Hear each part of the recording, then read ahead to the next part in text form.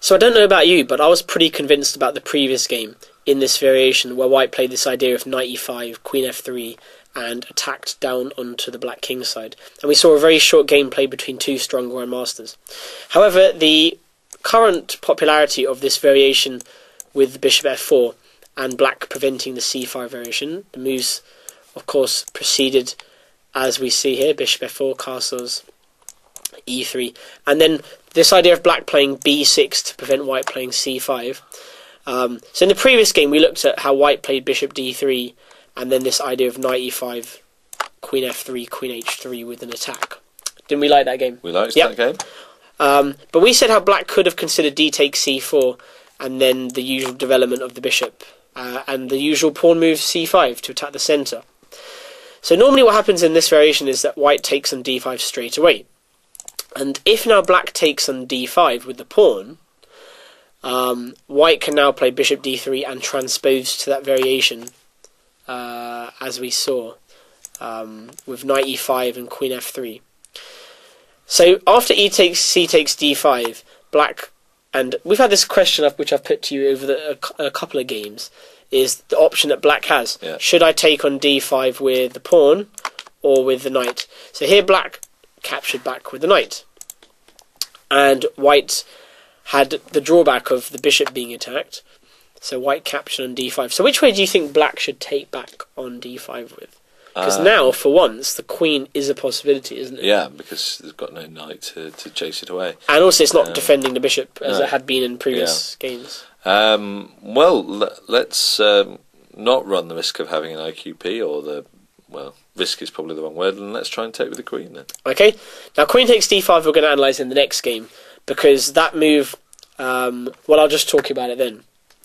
But in this game, white played e takes d5, and we're now going to reach positions where um, we see black play the key move c5, and we're going to get a very familiar pawn structures to the ones that we've seen. So white played bishop e2, which I slightly prefer than bishop d3, only because the bishop can come here and potentially attack the pawn on d5 at some moment. Right. So bishop b4 check was played. How do we stop? Uh, knight d2. Yep, we've seen that move played before, and now black surprisingly went back. So there ex- occurred an exchange, and then a castles, and um, bishop f5, rook c1, knight d7. Okay. Um, oh yes. Also, we talked about bishop coming out here. Why do you think black didn't just put it on b7? What do you think? Um, I think we spoke about that very early on in did, this yeah. DVD about how if black had the option of playing e takes d5, he didn't have to put the bishop on that Yeah. long diagonal. He could bring it out to a so-called better square. Um, but do you agree with that? Do you think um, you prefer the bishop on b7? I do, yeah, kind of, just because it's obviously then still pointing towards the white king, whereas at the moment it's. I'm not saying it's not doing anything, but it, I like that sort of, you know, down the long diagonal pointing right at the heart of white's camp. All right, so there, there you have it. Then um, you can decide which one you want to do by following Nick Murphy's advice or 2400 player IM's advice. But no, I think I bishop didn't- b7 is fine. You asked why whether I would do it or not. I didn't say you should do it. And we're just going to, I mean, white played a variety of moves here, but uh, eventually black played c5. And we're going to reach the pawn structure, which is what I'm trying to explain. Now, a6 sets up a little threat, because if white does play, for example, that move. Yeah, I'll play, okay, I'll play that move. Um, what's the plan that black could now carry out, which is uh, quite an annoying one for white? Um, just keep pushing the b pawn or something like that. It's actually quite important you see which one, which pawn on the queen side. There's a big difference between them. That's why I said the b pawn. or something you said. Okay. I want you to be succinct with your. okay, push the b pawn. Okay, well b5, and if I move my queen back, so, well if I move my queen to say a5, what are you doing next?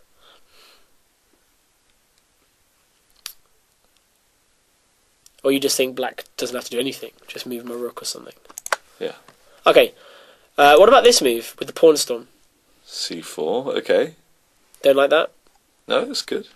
Well, the problem with bishop, uh, sorry, not bishop f3, b5. The problem with that move is that I can throw in this move, attacking your queen, and when you take back, now you haven't got the pawn attack, and also you're a little bit stuck along this side. I mean, for example, rook c8, knight b3. I think everything is kind of hanging for you in this variation. Yeah.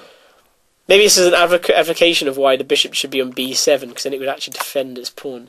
Although I could hardly agree with anything you say. So okay, um, but this is the sort of dream position, the very, very similar to that Karpov Ka- um, Spassky game where White's pieces are all facing down towards here, and Black really is struggling to, to defend everything.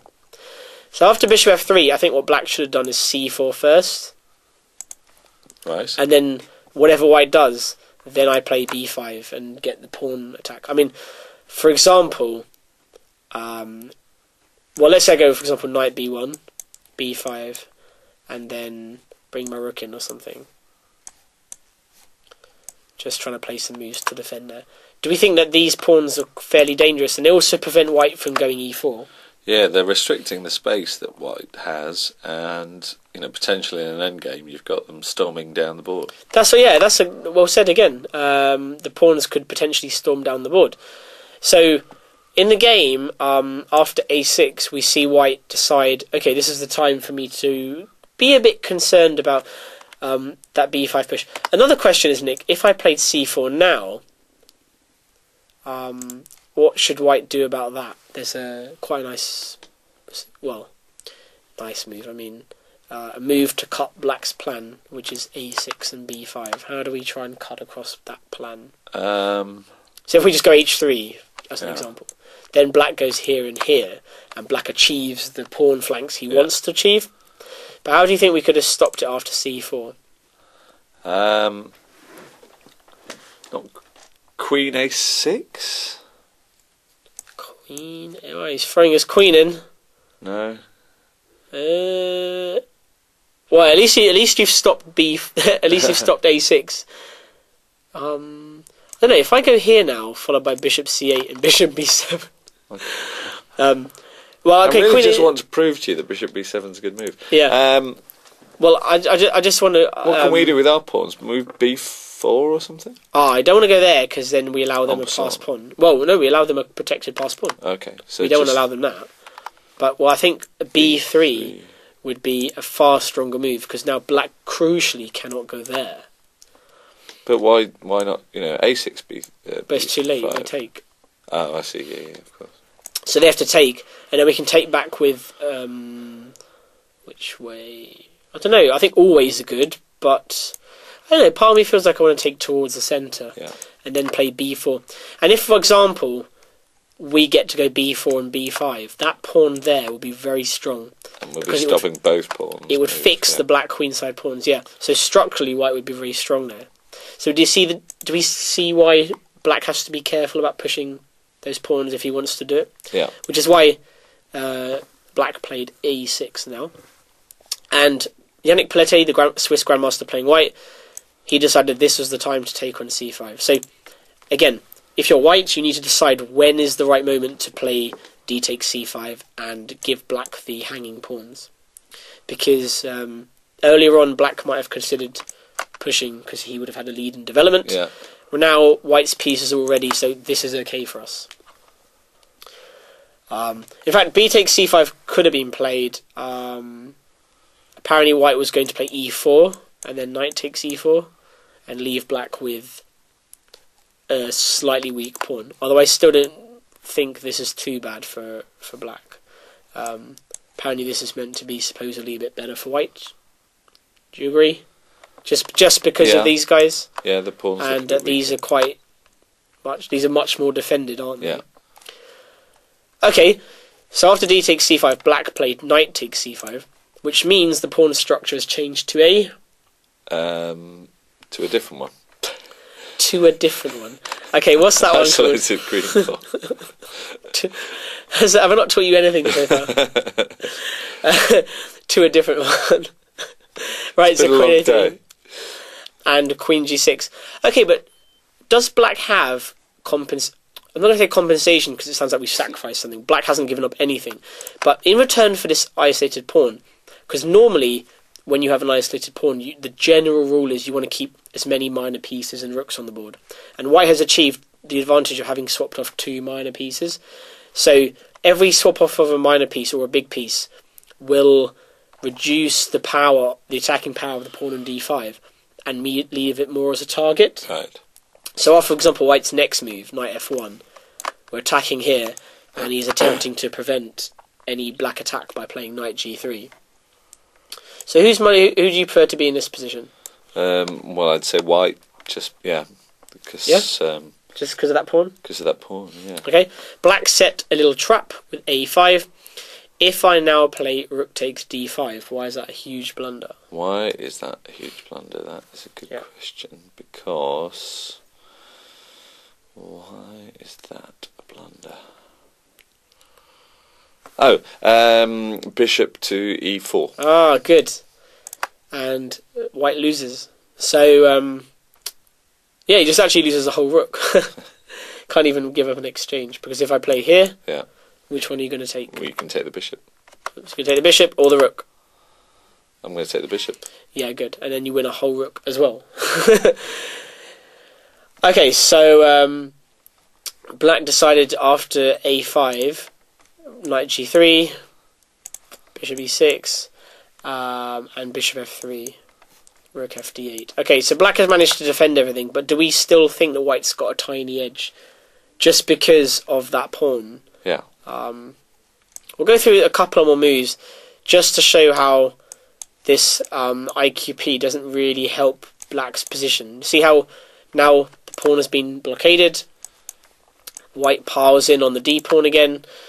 It's very tricky for black to try and defend. This all look very similar to a lot of the other games. We saw that one in the Kasparov game against uh, Magerramov, but there it was very different because the white king was still on e1 and black could now sacrifice with d4. But here it would just lose the pawn. So um, black just sort of faffs around a bit. But I think eventually we see that white manages to keep control of the position like this. Um, just going to quickly go through some of the moves. It's a lot of manoeuvring, but we see um, both sides. I mean, black's trying to wriggle out of this pawn, and white's trying to make sure that he's on top of everything. I mean, knight f5 is actually quite a strong move because Yeah. it attacks that and keeps an eye on that. So, uh, so rook c5, b3, protecting the pawn. Queen moves to a3, and then white ended up winning a pawn like this. Um, and then he won after further adventures. But basically, we saw how black was struggling because he had the IQP and he didn't have enough counterplay for it, did he? So, my general thing to take away from this game would probably be if if um, you get that kind of position where white can take on c5 and give black the hanging pawns like this, pawns on c5 and d5, then um, you should judge whether that's you know going to be good for black or bad for black, Right. or which side of the board you'd rather play. And if you only give them the isolated pawn on d5, is that a favourable one for yourself or for your opponent? So it's always judging it on the merits of the position rather than, oh, I hate IQPs or I like IQPs. It should be based rather on the position and whether it suits you or not. So.